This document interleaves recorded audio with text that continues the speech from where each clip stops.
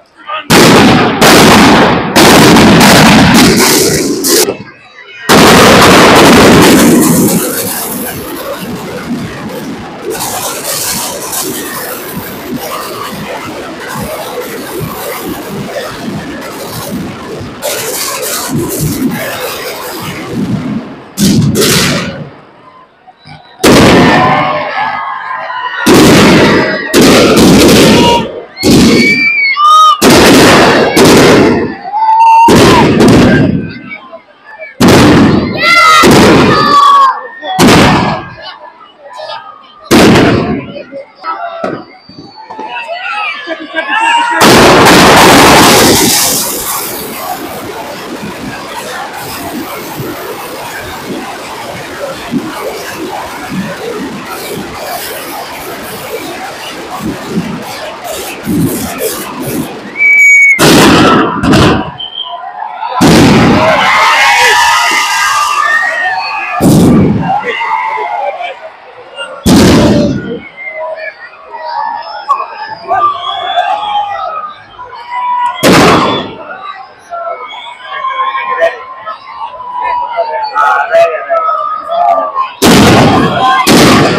बुराई के ऊपर सच्चाई की जीत हो दे आप देख सकते हैं कि हर्षोल्लास उसी तरीके से फिर से तो हमारे लोगों के अंदर देखने को मिल रहा है।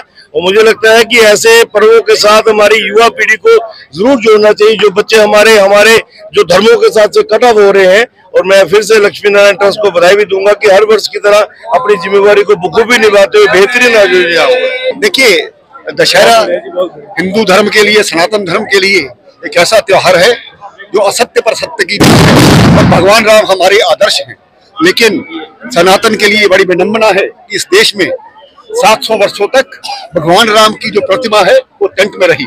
और प्रधानमंत्री मोदी जी के नेतृत्व में अभी जनवरी में राम मंदिर का रामलला का विशाल मंदिर बन रहा है। और हम अपने इसको अपने जीवन काल में देख रहे हैं और ये हमारे लिए सौभाग्य की बात है। सनातन एक ऐसा धर्म है जो सभी की इज़्ज़त करता है। अ, सर्वे सुखिना और वासुदेव कुटुंबकम की बात करता है। इस धर्म में हमने जन्म लिया है हम सौभाग्यशाली बहुत बहुत मुबारक सबको शुभकामनाएँ तरफ़ से। हर साल की तरह श्री लक्ष्मी नारायण मंदिर मैनेजमेंट ट्रस्ट की ओर से ये बड़ा पर्व जो है मनाया जा रहा है। आप देख रहे हैं कितने लोग थे।